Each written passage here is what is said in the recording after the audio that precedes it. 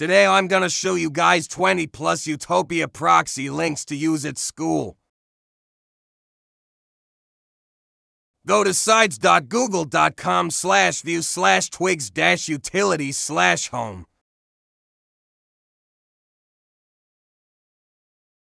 I'll put the link in the description if you're a lazy human being who can't type a single effing link.